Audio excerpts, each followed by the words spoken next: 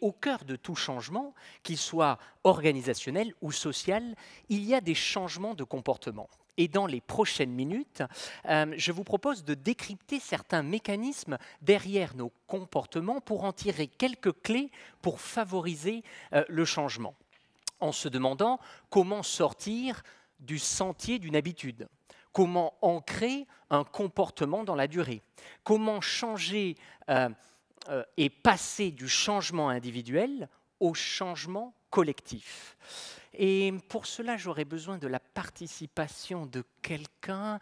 Et je dirais euh, peut-être, vous, monsieur, avec la chemise bleue et les bras croisés, quel est euh, votre prénom? Oui, vous qui baissez les yeux et qui faites ça. Euh, dites-nous quel est votre prénom? Michael?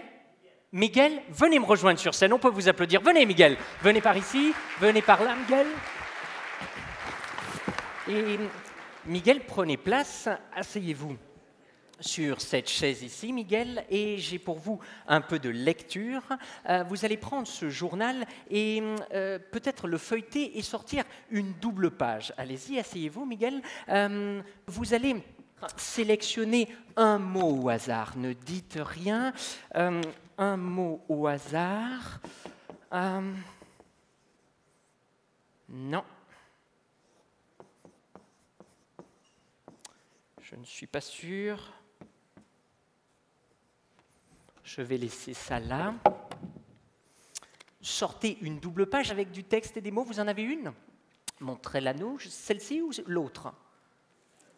Celle-ci, parfait. Euh, je vais sortir cette double page ici et je vais ranger le reste du journal. Euh, nous allons créer une sorte de réaction en chaîne de comportement. Et vous allez faire un certain nombre de décisions. Euh, peut-être vous, monsieur, avec le pull gris, quel morceau voulez-vous éliminer? Celui à ma droite ou à ma gauche?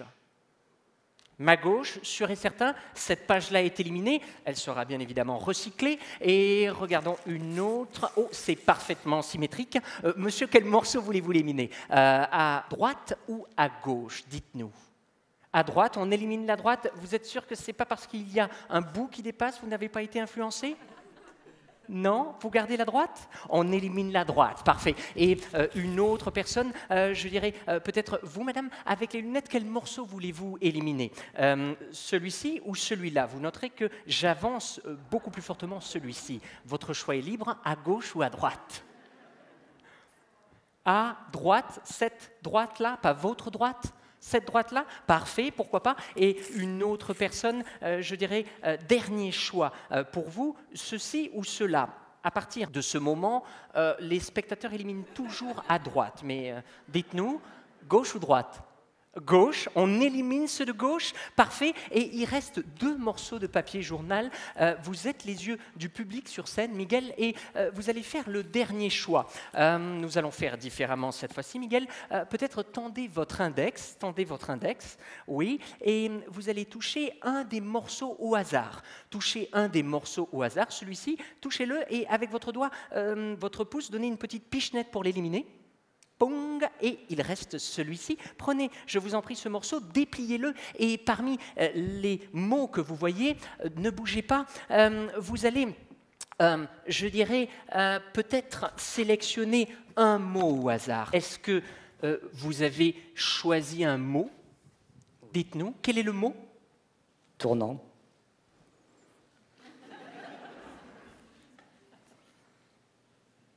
Ok les morceaux de papier étaient roulés, n'est-ce pas, en boule. On les a éliminés. Vous aviez des milliers et des milliers de possibilités.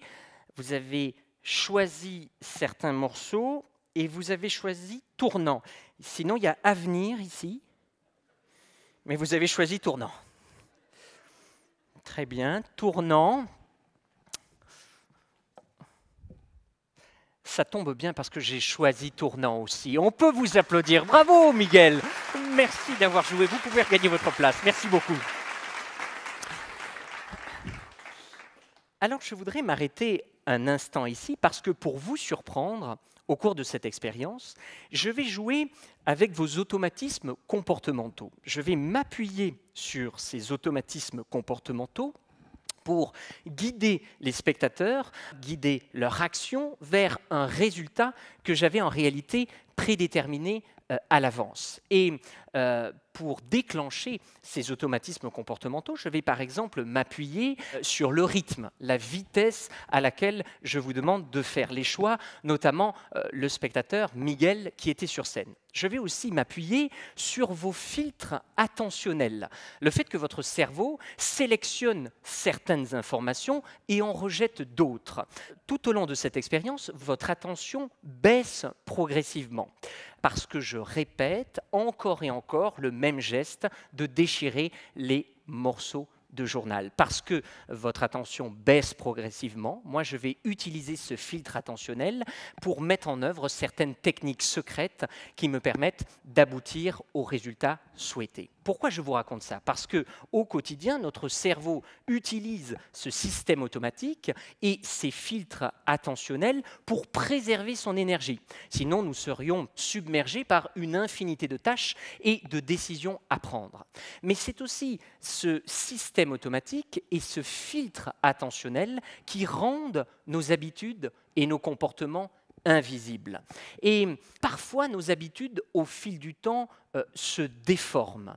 Et tout l'enjeu va être d'éviter de prioriser la force de l'habitude, sa répétition, au sens de l'habitude, la raison pour laquelle euh, l'habitude a été mise en place au départ et qui peut-être n'est plus pertinente aujourd'hui.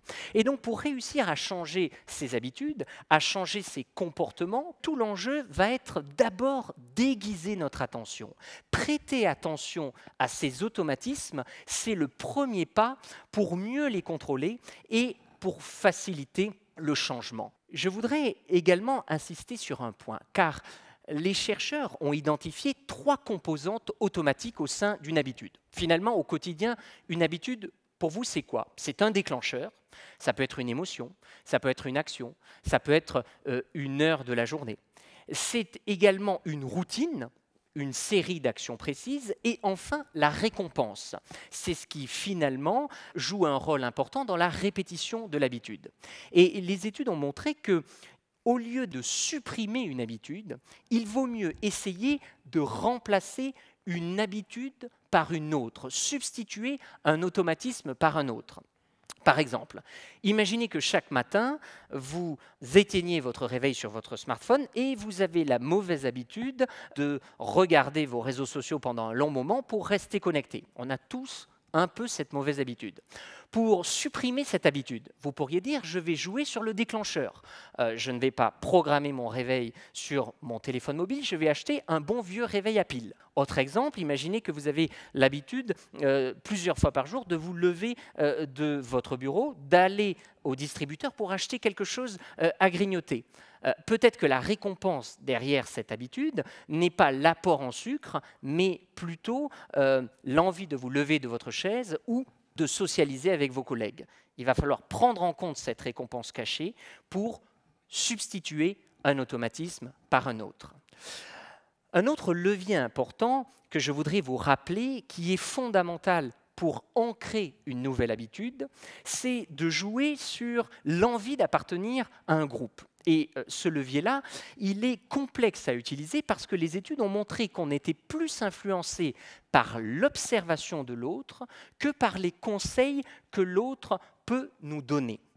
Par exemple, j'ai commencé à trier mes déchets organiques, non pas au début parce que je pensais que j'avais un impact significatif sur la planète, mais parce que euh, ma compagne, au départ, le faisait.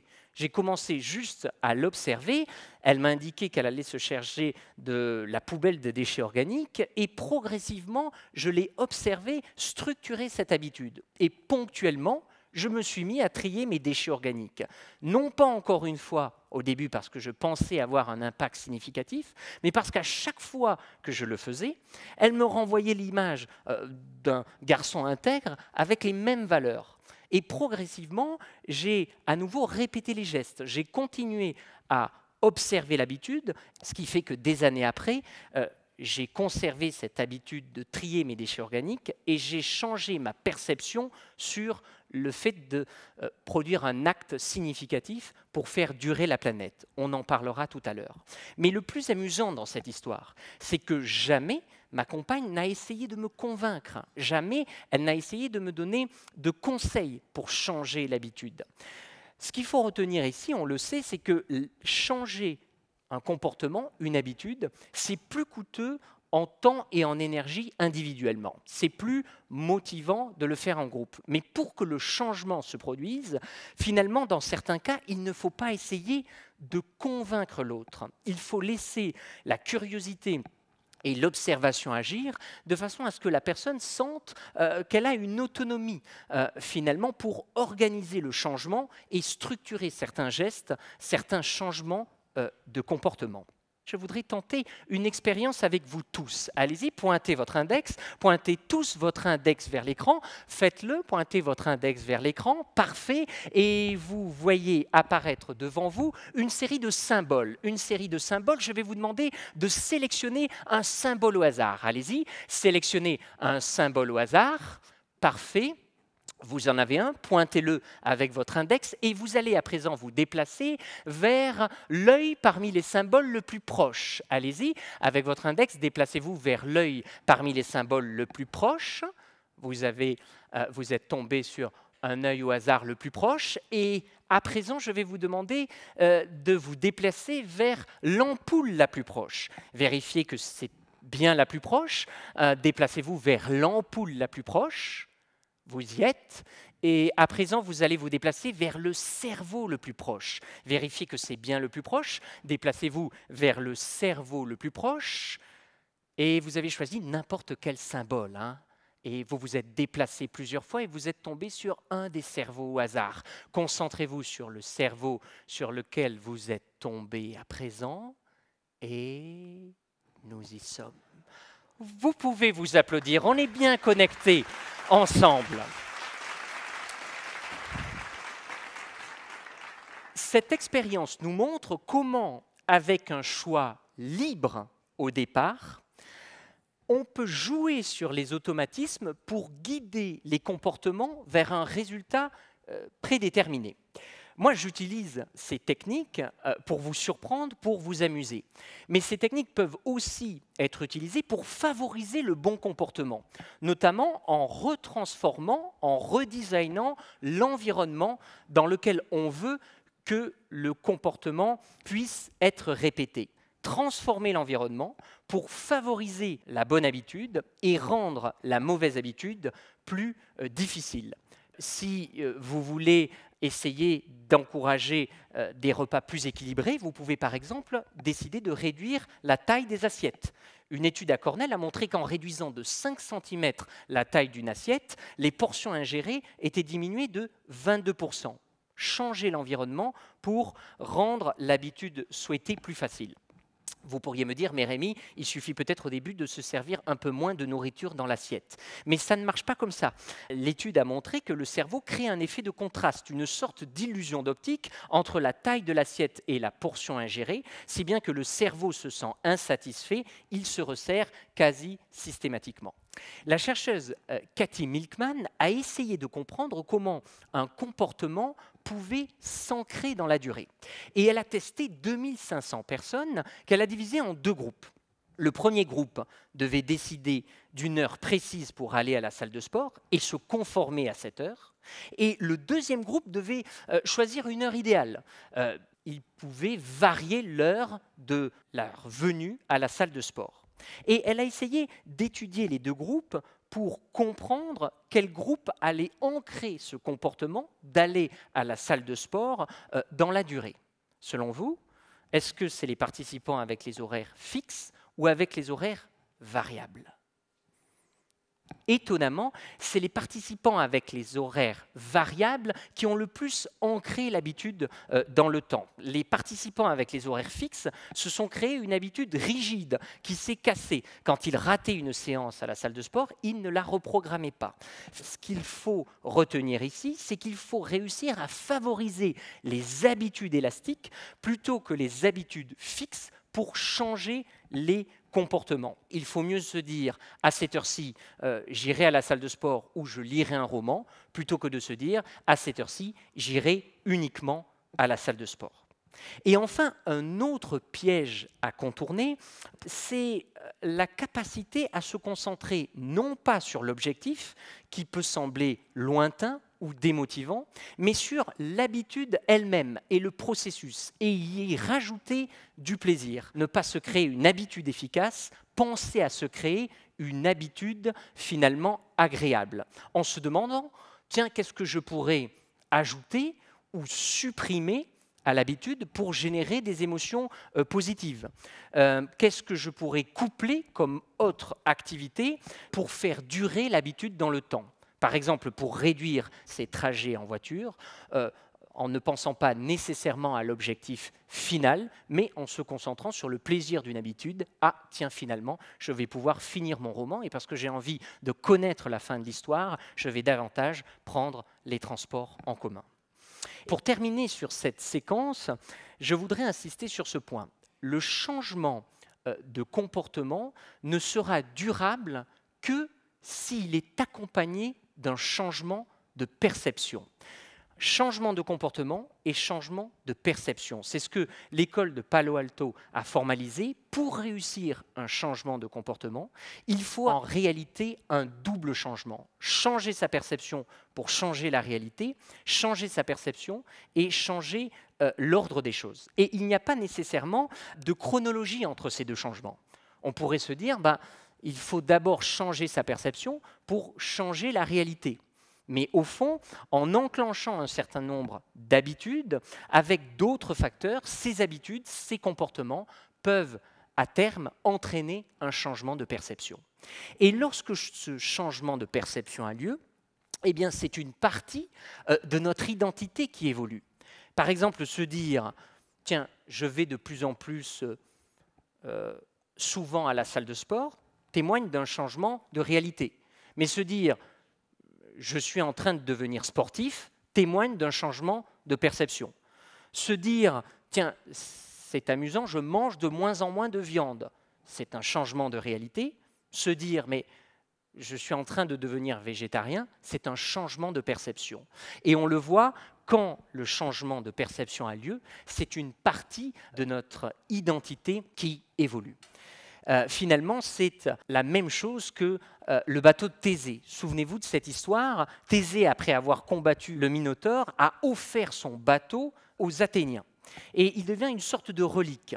Mais des années après, le bateau s'abîmait. Alors on a changé une planche, puis une autre planche, puis une autre planche, euh, si bien que toutes les planches avaient été changées. S'agissait-il du même bateau ou d'un autre?